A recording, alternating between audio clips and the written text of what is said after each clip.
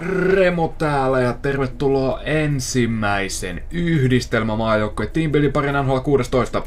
Näillä yhdistelmämaajoukkoilla on selkeä tarkoitus. Ja arvasitteko jo kenties otsikosta oikein tämän idean tässä? Elikkä kerrataanpa siis hieman historiaa alkuun. Mehän kaikki tiedämme, että ainakin pitäisi tietää, että vuonna 1991 Neuvostoliitto hajosi. Mutta mihin se sitten loppujen lopuksi hajosi? Siitä vaan sanotaan, että no sehän on nykypäivän Venäjä, mutta olihan siinä muutakin. Neuvostoliitto oli paljon, paljon isompi. Ja se hajos yhteensä 15 itsenäiseen valtioon. Aika nopeallakin tahdilla. Ja mitä nämä alueet sitten oli? Kylmän sodan aikana Neuvostoliittoon kuului monia nykyään muita itsenäisiä valtioita, joita ovat Ukraina, Uzbekistan, Kazakstan, valko Azerbaijan, Georgia, Tatsikistan, Moldova, Kirgisia, Liettua, Turkmenistan, Armenia, Latvia ja Viro. Nämä kaikki valtiot, nämä olivat neuvostotasavaltoja. Eli käytännössä katsoen siis Neuvostoliiton satelliitteja. Niiden ulkoreunalla olevia vyöhykkeitä, jotka eivät ihan täysin olleet Neuvostoliiton alla, koska siis no, teoriassa teknisesti ottaen niillähän oli oikeus erota Neuvostoliitossa, mutta eihän se nyt oikein sitten onnistunut. Kyllä te tiedätte, kommunismi. Mutta kun Neuvostoliitto tuli sekä taloudellisesti että poliittisesti tiensä päähän 90-luvun alussa, niin nämä kaikki valtiot itsenäisty. Ja mitä nämä valtiot sitten tarjos jääkiekko maailmaan?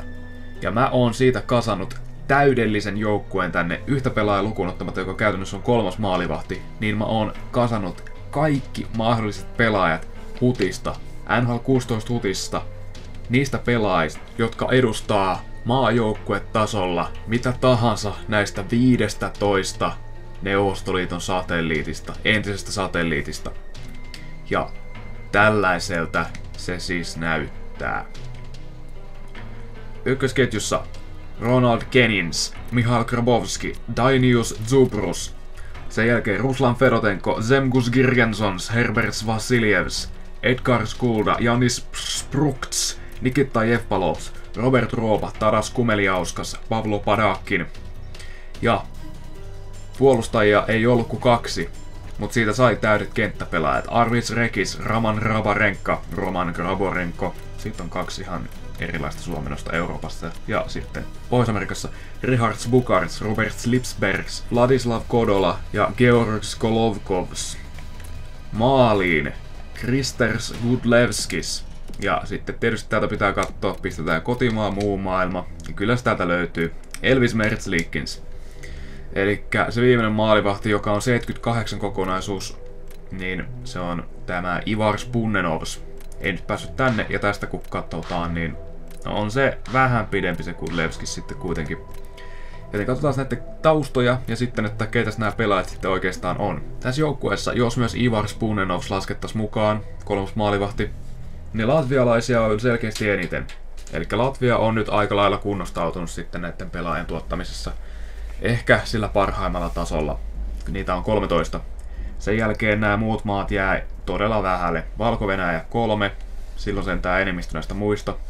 Mut sitten Ukraina 2, Liettua 2, ja Viro 1. Ja näistä kaikista satelliiteista on myös olemassa Kazakstan tietysti, joka on edes jollain tavalla meritoitunut sitten kansainvälisellä tasolla ja löytyyhän niiltä muutama NHL-pelaajakin, Antropov, näin etunenässä tulee tietysti mieleen. Mutta oikeastaan siis vain kuusi niistä 15 valtiosta, muut oli sitten kai niin erilaisia kulttuureiltaan, ei ne lätkään panostanut niin kuin ollenkaan. Eikä näistäkään mikään ollut noussut huipputasolle sitten loppujen lopuksi. Latvia, Kazakstan, valko ja Ukraina Näitä maita on nähty MM-kisojen pääsarjatasolla tässä. Ukraina nyt viimeksi aika kauan aikaa sitten, mutta kuitenkin. Ja sitten Liettua ja Viro niin on siellä MM-kisojen vähän siellä divareissa alempana pyörinyt tässä vuosikausia. Mutta muut maat ei sitten pääse edes lähellekään. Joten kun näistä kasaa näistä kaikista satelliittimaiden pelaajista sitten parhaan joukkoja, niin ei sekään kyllä loppujen lopuksi kauhean häppöseltä näytä, jos nyt tässä nyt miettii.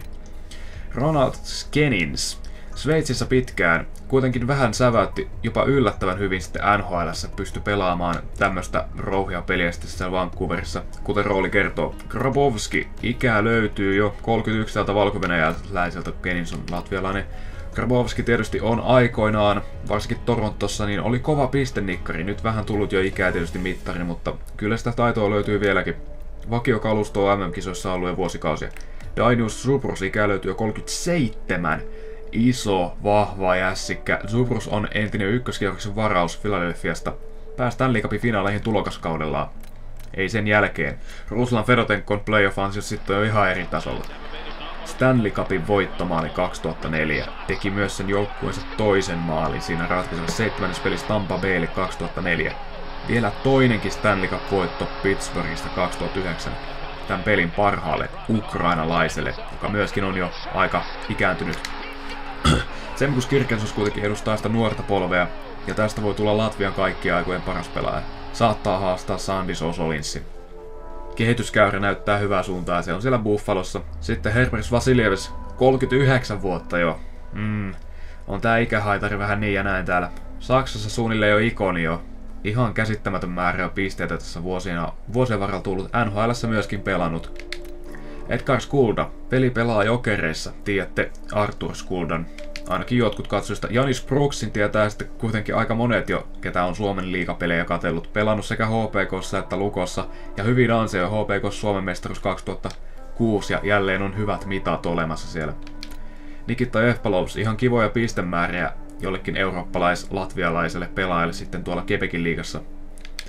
Robert Roopa, myöskin tämä sitten suomalaiset tunnistavat bluesista suoraan, se nyt ei siellä bluesissa kuitenkaan, sehän taisi sopimus purkaa tuossa jossain vaiheessa, mutta kuitenkin mä oon ylivoimaisesti paras pelaaja näillä näkymin ja Mätti ihan käsittämättömät pisteet jossain olympiakarsinassa, siis kattokaa vaikka sen statsit, oli ihan järkyttävät. Tadas Kumeliaskas on tehnyt kyllä vahvan kauden Tepsissä. Pistemäärä on kyllä aika kova lukema nuorelle, nuorelle liettualaiselle, joita siis tässä pelissä on vain kaksi, Zubrus ja Kumeliauskas. Ja sitten vielä Pavlo Padakkinen, tämän pelin toinen ukrainalainen, siellä junnuissa Fedotenkun kanssa sitä ainoat. Ei siitä sitten se enempää. Puolustuksessa on vaan nämä kaksi ekapakkia. Arvids Rekis, latvialainen.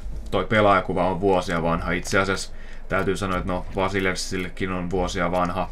Mutta Sprux siis tämä, tämä Spruxin kuva on jostain 2007 vuodelta taas. Että Rekisillä vähän sama juttu kuin tuolla Vasiljevsilton kuvan kanssa. Tääkin on kyllä todella vanha jo. Ikä on 36 vuotta tässä vaiheessa ja tätä ei ole myöskään päivitetty, niin siksi tää on näin huono. Ja kävi KHL, tuli takas sitten Saksan liigaa taas vaihteeksi. On siellä Saksassa pelailu aika pitkään tässä jo. Mutta sitten tämä Roman Rabarenko tai Roman Grabarenko on myöskin näitä nuoria pakkeja. Valko-Venäjä hyvät mitat kaiken kaikkiaan. On kyllä vähän puiset kädet siellä AHL pelannut. Kyllä sehän taidettiin nostaa jossain vaiheessa ihan pikaisesti. Sitten nämä pakkihyökkäjät. Latvialainen Bukarts junnuista, Lipsbergs taas Latvia junnuista. Myös Golovkovs sitten latvialainen junnuista. Ja sitten Kodola poikkeaa tästä kuitenkin joukkueen huonoin pelaaja, 67 kokonaisuus, Valko-Venäjä kansalaisuus. Maalivahdit voisi sitten tietysti käydä. Punnenous on siellä Sveitsin liigassa myös Elvits Merslikins on Kolumbuksen prospekti. Ja itse asiassa tosi hyvänkin kauden pelannut siellä Sveitsissä. Lukanon ykkös maalivahti taitaa olla nuori latvialainen kyllä. Yhtäkkiä Latvialta nyt alkanut tulee näitä nuoria maalivahteja. Kudlevskis 2-3 ja sitten tää Merslikins 2-1 ja sitten se Punenovski on tosi nuori. Kun vuosihan niillä ei ollut mitään maalivahteja tässä pelissä. Siis niinku ei ikinä. Siis nämä kolme maalivahtia on ensimmäistä maalivahtia, mitä ikinä on nähty tässä pelissä jossain nettikokoonpannissa se Masals siis taisi käydä jossain sekin liikan kautta, mutta ei sekään Masalskissa ei ole ikinä kyllä hutissa ollut. Ja Gudlevski sitten tietysti pysäytti niin kaiken mahdollisen, mitä se pystyi. Sotsin puoliväli eräs Kanadaa vastaan. Kanada voitti tuleva olympiavoitto ja voitti Latvian niukin naakin 2-1 siinä matsissa, kun Gudlevski otti se yli 50 koppia siinä pelissä. Tampa Bayn prospekti taas. Mutta siellä nyt on Bisoppi ja Vasilevski edessä vielä pitäisi vielä vähän kehittyä siitä, jos aikoo NHL-tasolle, mutta joitain tommosia ihmepelejä sieltä löytyy uran varrelta. Siinä oli joukkueen esittelyt ja voidaan lähteä tällä tiimillä ykkösdivariin. Ja tässä myöskin, ai teekö me jotain muutoksia? Ai niin joo, tietysti. Kakkosmaalivahti tonteille. Sen jälkeen voisi katsoa, no niin, tämmöiseltä näyttää sitten tietysti täällä näin. Tämmöiseltä Grabowskihan oli mun tossa alkujoukkueessa, millä mä pelasin tuolla 10 ja 9 divareissa. Mä otin kolme halvinta, mitä marketista löytyi näistä maista. Ukrainan logon, valko kotipaida ja Latvian vieraspaidan. Se on ihan jees. Kelpaa mulle vallan mainiosti. Sitten tietysti kannattaisi varmaan taktiikat laittaa jo. Näytäpäs tässä vielä ennen peliä nämä erikoiskentälliset vielä. Eli tää joukkue sitten todellakin on se nyt pikkasen parempi kuin siinä edellisessä pelissä, mutta silti ei tää kyllä mitään päätä huimaa. Palkka 21 milliä hikiseen sieltä, niin mm, no, mm. saapas nähdä tässä sitten. Kebal Brawlers HC 82, 81, 83, sillä on Jevgeni Malkin.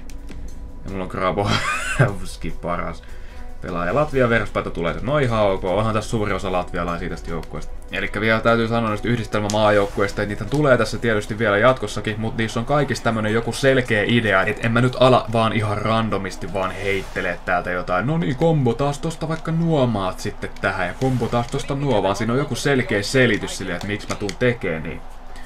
Jontekas jotekas Wheeler, Malkin, Neil. Oho. Ovelaa onpas mulla sitten kuitenkin AV ihan kunnossa täällä. Että tämmöistä peliä. Sillä on joku dry saittelu. Kyllä nyt pitäisi voittaa tämä aloitus. No niin, kulda. Läpi. En mä edes vetänyt. Hehe, tää on ostanut kaikki mobit paljon. Sitä Spruxi ei nyt kyllä ei nyt ihan vakuuta nopeudella. Näillä kaikilla myöskin tosi heikot kunnot tässä tiimissä, kun peluta vielä sitten jotain junnuja. Eikä niilläkään mikään hirvittävän hyvä kuntoa siellä, että tyyli joku 75 kuntoja kaikilla tai joku alle 80. Kyllä Gudlevskis. Pitää ottaa semmonen taas semmonen huippupeli kuin kanukkeja vastaan, niin ei tässä ole mitään hätää. Tai no on, koska ne hävisi No pein, on iso maali. Aika paha. No se oli jo, kuitenkin YV, hei. Annetaan vähän ymmärrystä tälle joukkueelle sen huonosta pelaamisesta. Hm. Aika hullu. No, nyt kyllä. Yksi nolla ja jälkeen oli kyllä vähän semmoista säätämistä. En mä tiedä. Nää pelaajat vähän huonolta tuntuu, heikolta tuntuu. Sinänsä yllättävän tasasta, mutta yllättävän tasasta. Oi, ja sieltä snaippi kilvelle. Kuka tää on? Jev Palos, Nikita Jev Palos tulee. No, miten sen pääs tolleen blokkaamaan tosta? En kyllä syötä. Oi, läpi. No, nyt kyllä. Oi, melkein PM. Tasatilanteesta kolmanteen taas. Kauheen tiukkaa, liian tiukkaa, mutta taas on kyllä yllättävän hyvin pärjännyt omasta mielestäni. Oi, Subrus läpi. Ja sieltä Subrus tekee joku Dainius Subrus läpiajossa, siis herra jumala sentään, mitä tää tapahtuu? Spruks. Oi, melkein Snyderista siitä läpi. Nyt se ottaa jotain aika lisää tyyliä siellä. Subrus taas. Subrus on ihan biisti. Vitsi, jos se olisi nuorempi, niin se olisi kyllä varmasti ollut mun haastetiimissä tai jotain.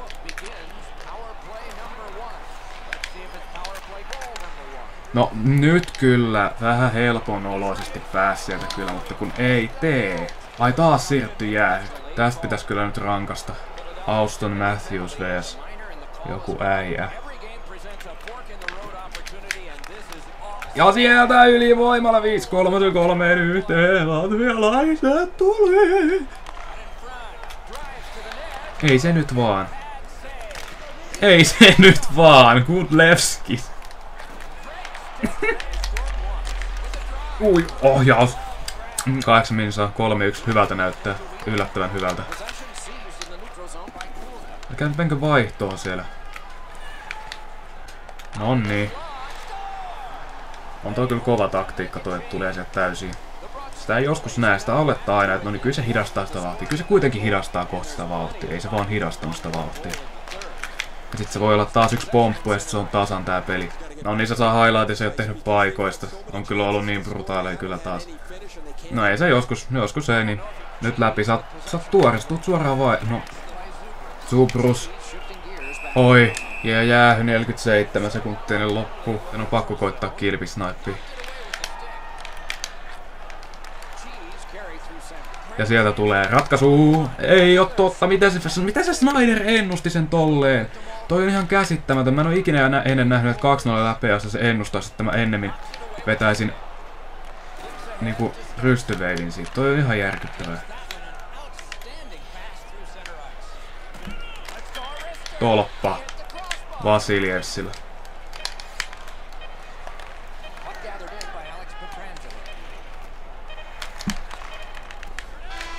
Ja tästä tuli voitto, se meni tommoseksi ihmeräpeiltämiseksi tuo loppu tosta, mutta jotenkin taas yhteis...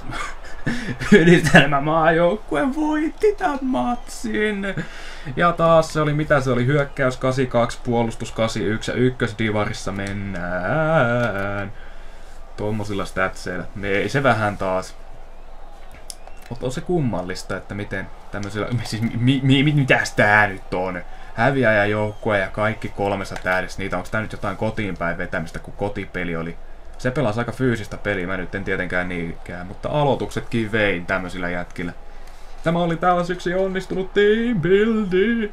Näkemiin täältä erää ja myöhemmin jatketaan sitten näiden kanssa. Mitäköhän sieltä mahtaa seuraavaksi tulla. Jos veikkaatte oikein täsmälleen, mikä tulee seuraavaksi, niin sitten kyllä nostan hattua ja saatte jotain coinseja. No niin, moi moi. Kerrataanpa siis hieman historiaa alkuun. Vuonna 1999